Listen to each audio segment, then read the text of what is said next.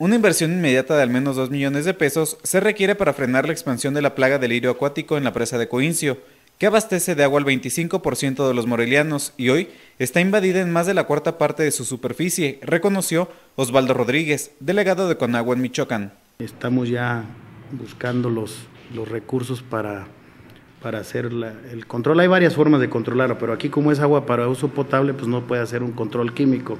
Entonces, eh, vamos a, nos estamos inclinando por un control mecánico, que es una trituración. Admitió que se necesitan acciones inmediatas para acabar con la maleza que hoy asfixia el cuerpo de agua. Tenemos que actuar rápido, nada más estamos esperando a ver si nos autorizan los recursos para aplicar rápido eso. ¿De qué recursos estaría hablando? Nosotros tenemos una estimación de dos, de dos millones de pesos.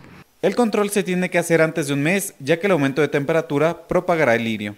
Cuando empieza la temperatura a cambiar ya ahora que entra el primavera o verano, eh, incrementa la temperatura y se reproduce muy rápido esta, esta maleza. Que eso vendrá a ser como un mes, ¿no?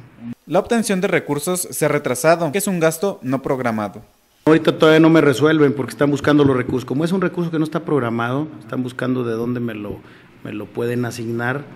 El delegado de Conagua explicó que la invasión de la planta acuática eleva la evapotranspiración y con ello la pérdida de agua en el embalse sí nos provoca algunos daños, sobre todo aparte de lo aparatoso del, del, aspecto, es una cuestión de, e, es una plantita que tiene o, una maleza que tiene, eh, que incrementa la evapotranspiración, entonces tenemos pérdida de agua por eso. Recordó que la presa tiene varios afluentes y los vientos colaboraron a que el lirio entrara por estos. Por el comportamiento de los vientos se ve, primero se extiende y luego se compacta, entonces se está, se, digamos que es como está flotando el lirio, se ve a veces muy aparatoso. Antonio, un lugareño, muestra cómo el lirio absorbe el agua y aseguró que en las raíces de la planta se encuentran huevecillos dañinos que pueden ser ingeridos por las vacas que pasan por la zona seca, donde hace unas semanas corría el agua.